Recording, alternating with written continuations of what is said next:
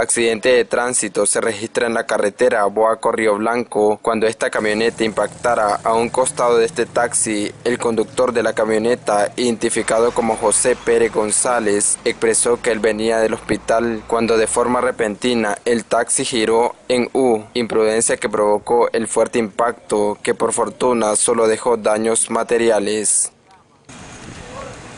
Bueno, que directamente que la imprudencia de este taxero pues dando vuelta en U aquí, directamente no tuvo la precaución de ingresar a su carril de nuevo y, fue de repente pues el impacto que le pegué. Otro accidente de tránsito deja daños materiales y el susto al conductor de una moto luego de que un bus con placa de Costa Rica frenara cuando venía en marcha, lo que hizo que un motociclista chocara en la parte de atrás del bus. Esto sucedió exactamente en el empalme de Huaco.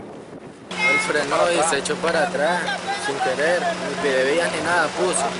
¿Y ustedes de dónde venían? Venimos de Boaco, acabamos de jugar la primera división. Desde el departamento de Boaco, en Crónica TN8, Ariel Mena.